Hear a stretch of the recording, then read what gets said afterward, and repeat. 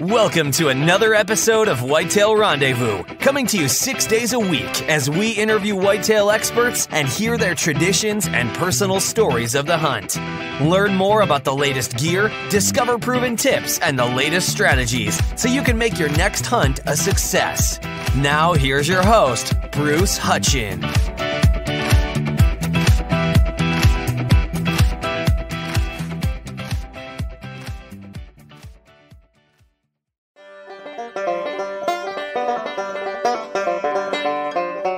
Welcome to the third segment with Dan Infalt from the Hunting Beast and the cost of hunting. And it's not about the dollars. Dan, welcome to the show. Hi, Bruce. Thanks for having me. Yeah, we've been chatting it up tonight, and we wanted to get these three shows in. And folks, you can listen to all three coming up soon. I'll get them scheduled and let Dan know, and he'll let everybody he knows know. But you had on social media something I thought we'd end the segment of the shows the cost of hunting and it's not the dollars. What do you mean by that? What that means is is really um, I put so much into my hunting when I was younger. I put my wife, my kids, everything on the back burner, my job, my career, because uh, it's almost like an addiction. I was so into getting the next big buck and that hunting that every cent I got, every extra penny I got went into hunting. I actually picked jobs because of being able to get off of work, being able to sneak out early and hunt uh, because I wanted to hunt every day rather than what would put food on the table. I would miss my kids' birthdays. I'd miss Halloween and stuff. And that article was really to make people that are in that mindset now that are me back then really look in the mirror and say, wow, you know, I'm doing that. You know, what is this costing me? You know, because really people look at me, whether I like it or not, as a great hunter because all them bucks I accomplished. But any one of them can have those bucks just like I did if they're willing to pay that price because that's what got me those bucks is what is what I did to my wife, what I did to my kids, you know, and don't take that wrong. They don't have regrets with me or I'm the one with the regrets. I'm the one thinking, you know, I should have did something different back then. So what would you change? That's a tough one because I really don't think I could change because I think those lessons that I learned, I needed to learn because you know, the things I did wrong are what made me the person I am today, which is a better person. I don't think I could go back and change any of that. You know what I mean? But I do think that you should probably take time out to be with your wife a day or two out of the week. Or, you know, you should be trick or treating with your kids on Halloween instead of thinking it's peak rut and you need to be hunting. There's some things I would change, but I don't think I'd change the man that had to drive for that hunting. It's kind of, uh, I don't know, you know, part of you wants to go back and not do any of it, and part of you wants to go back and not change a thing. But I think it needs to be exposed for the people that are going through it now. Yeah, it's as I look at your success in your career, to get to today, you had to do what you did yesterday, and it cost you something. There's no doubt about it. Right. But you're a better man, you're a better husband, you're a better dad today than you possibly ever would have been had you not gone through that journey. That's my sense. Right. And my big point, I just want to show you that it's a little more expensive than you think. Yeah, when you think about you know your wife, your partner, and how she had to be willing to just say, okay, you know, we're going to go through this. So today it's going to be different. Did I say that right?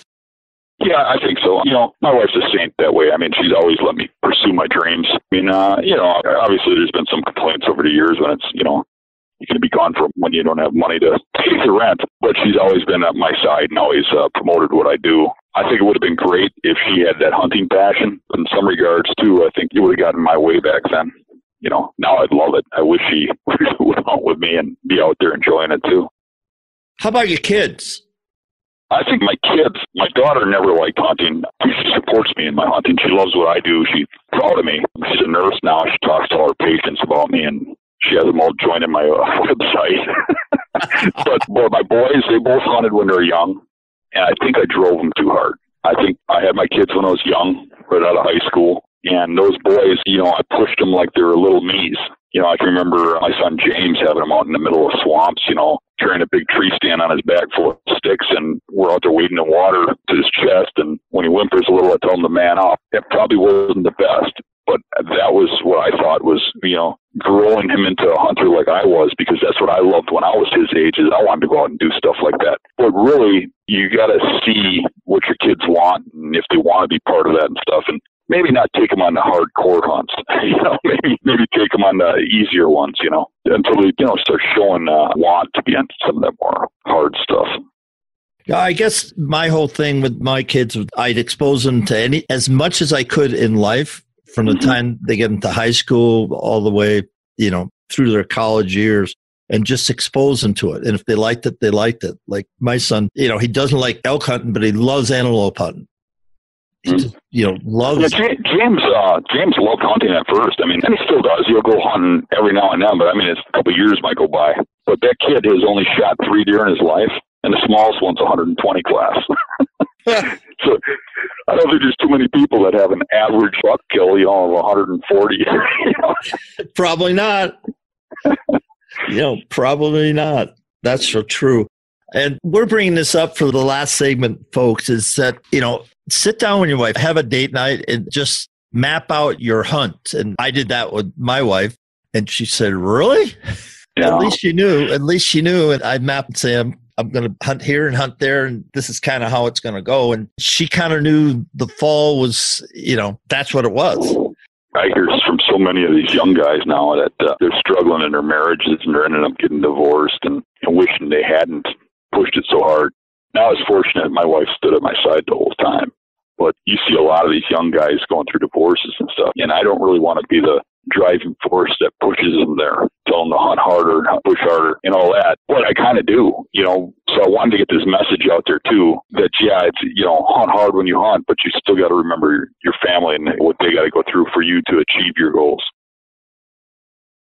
maybe the words balance and communication. Yeah. And so many times, especially you know when we're young, we're just going to go do it, and consequences aren't real good. And, and everybody, there are consequences for our behavior, good you wouldn't and bad. Believe how many private messages I got on Facebook after I posted that article from people telling me uh, how their lives have been strained, or marriages have been strained, and, and how they really feel like hunting's become an addiction.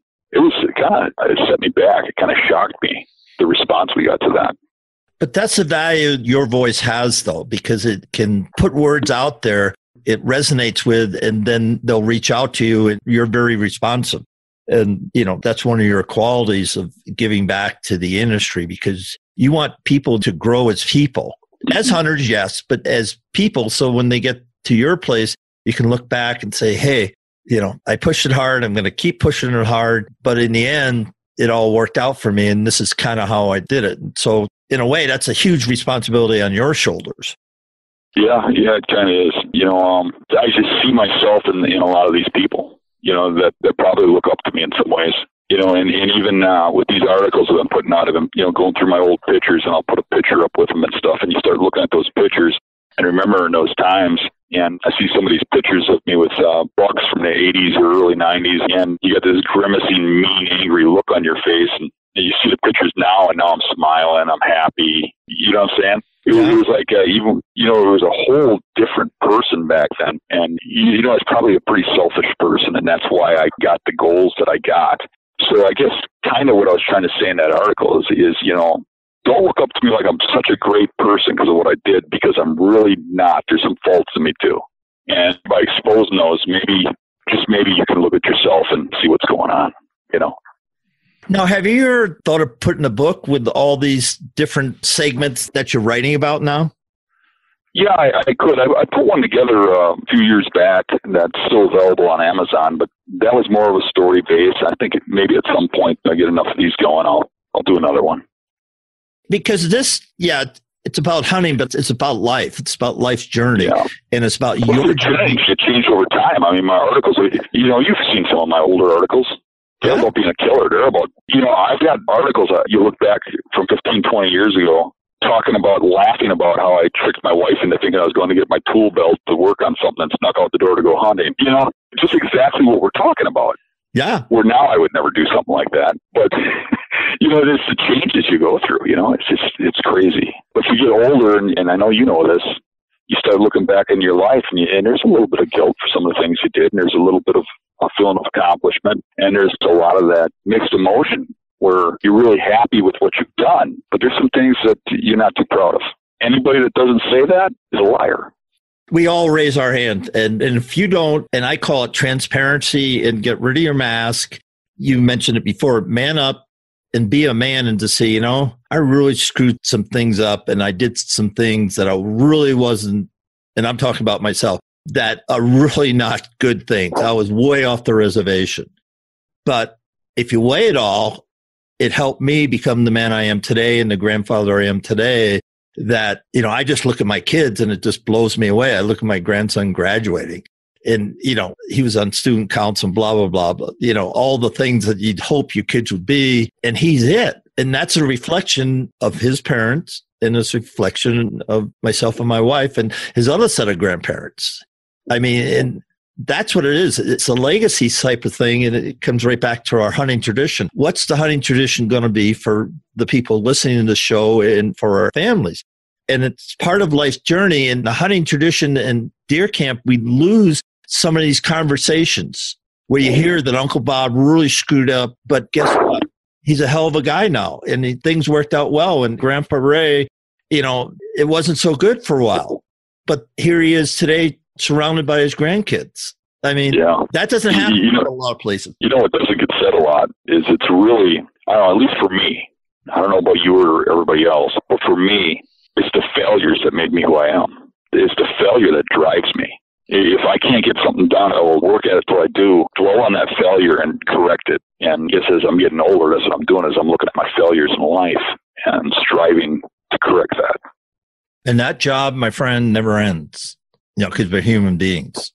Right, right, yeah, yeah. I think uh, younger guys, though, I don't think they admit failure as much. I mean, I get a lot of comments back from friends like, "You didn't just post that. you need to take that down because you know you're exposing that to the world." And I'm like, I don't care. Yeah, you know, haters are going to hate, whether you know, no matter what. Yeah, I mean, you read some of the things I wrote. I mean, uh, most people would not put that out there. You know, but haters are going to hate regardless. And I think some things just need to be said you know, that's why we're doing this series, folks, because Dan's on a tear. and I wanted to get him on the podcast to, to share it because, you know, it, yes, it's about hunting, but it's about life's journey. And I've been fortunate to have hunting.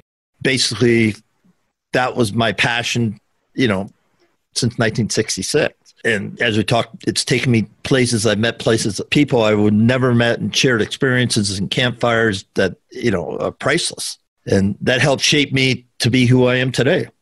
Yeah, you know, I always like talking to you, Bruce, because most of the guys that are podcasters and stuff are so young. But I can relate with you because at least we're close in age, closer than uh, a lot of those other people. a lot of times I'm talking to a 20 year old guy when I'm on a podcast, you know.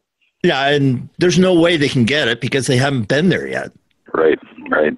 No, it just wisdom comes from age and it's sometimes extremely painful but, you know, here I am today, and here, you know, we'll have hundreds of thousands of people will listen to this little series and they'll go, wait a minute, what are these guys talking about? And if we can get people, if Dan and I can get people, just guys and gals, just to think and find, I guess, that balance and keep the passion, keep the drive, because you need that to get through life. There's no question about it. But if we can help with the other things, that's a good thing in my book. Yeah, yeah. Yeah, I think we're reaching people.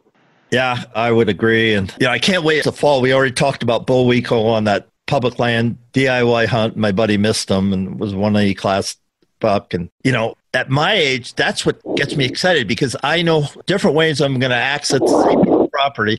I know basically where he is. And my buddy had a shot at him last year, which I was hoping he would get a shot. I didn't want to go in there and kill him. I only hunted him one day with him. But he hunted him, and I hope to get in there this year and have the opportunity. But you know, you're a 365 hunter that's been doing this for such a long time and you're so honed with your skill level that you know folks just get on the hunting beast and get on dan's youtube channel and follow him on facebook and instagram and if you see something you don't like or you disagree with the post let him know because he's posting what he's thinking yeah i'm pretty open i mean people can pm me and stuff and i answer i mean i don't always answer the same day or something i mean but i, I do i look at everything everybody sends me you know, I get a lot of messages, so sometimes it takes me a while, but I read them all. The good, the bad, and the ugly. Right, right. but we put ourselves out there just to do that. I mean, I'm fine right. with it.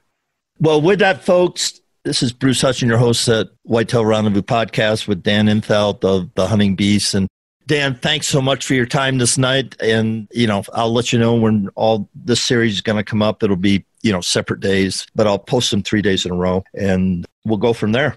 Appreciate it, Bruce. It's always fun talking to you. Always enjoy it.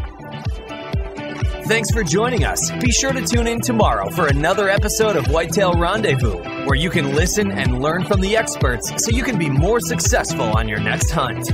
Until next time, listen, learn, and succeed.